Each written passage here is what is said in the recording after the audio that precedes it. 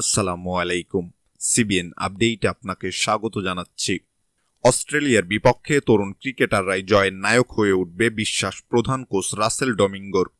অস্ট্রেলিয়াকে ঘরের মাঠে সিরিজ হারাতে মরিয়া বাংলাদেশ। বিস্তারিত জানতে সম্পূর্ণ ভিডিওটি দেখতে থাকুন।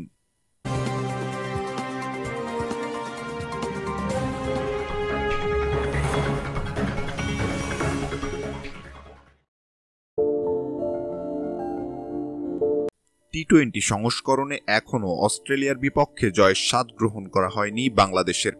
দুই দল ম্যাচই যে খেলেছে মাত্র চারটি। এবার ওই অস্ট্রেলিয়াকে নিজেদের ডেরায় পাচ্ছে বাংলাদেশ। অস্ট্রেলিয়ার স্কোয়াডটি পূর্ণ শক্তির না, তাই এই সিরিজটিকেই অজিদের হারানোর মোক্ষম সুযোগ হিসেবে দেখছেন টাইগার কোচ রাসেল ডমিঙ্গো। আগামী তিন আগস্ট থেকে মাঠে গড়াবে বাংলাদেশ ও অস্ট্রেলিয়ার মধ্যকার টি টোয়েন্টি সিরিজ। বাংলাদেশ ও অস্ট্রেলিয়ার মধ্যকার এটি প্রথম দ্বিপাক্ষিক টি টোয়েন্টি সিরিজ। অস্ট্রেলিয়ার দলে নেই তাদের মূল একাদশের ক্রিকেটাররা। তাই এই সিরিজে নিজেদের সেরা কম্বিনেশন খুঁজে বের করে অস্ট্রেলিয়াকে হারাতে চায় বাংলাদেশ। বাংলাদেশের কোচ রাসেল ডমিঙ্গো বলেন, আমি মনে করি অস্ট্রেলিয়ার বিপক্ষে সিরিজ জয়ের মক্ষম সুযোগ এটি। সেরা কম্বিনেশন খুঁজে বের করতে হবে। বাংলাদেশ অজিদের বিপক্ষে সচরাচর খেলার সুযোগ পায় না। তাই আমাদের জন্য এটা অনেক বড় সিরিজ।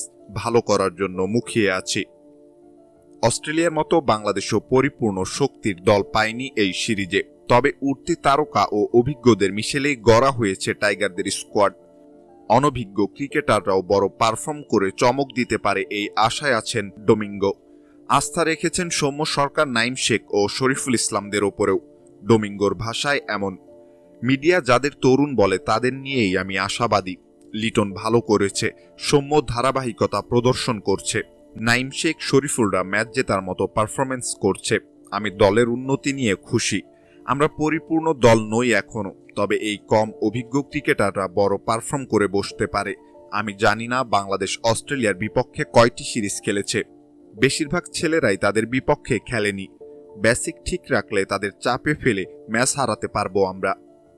সম্মানিত দর্শক, আপনার কাছ থেকে জানতে চাই অস্ট্রেলিয়ার বিপক্ষে টি টোয়েন্টি সিরিজে বাংলাদেশ কয়টি ম্যাচ জিতবে বলে আপনি মনে করছেন? জানাতে কমেন্ট সেকশনে কমেন্ট করতে পারেন। ধন্যবাদ।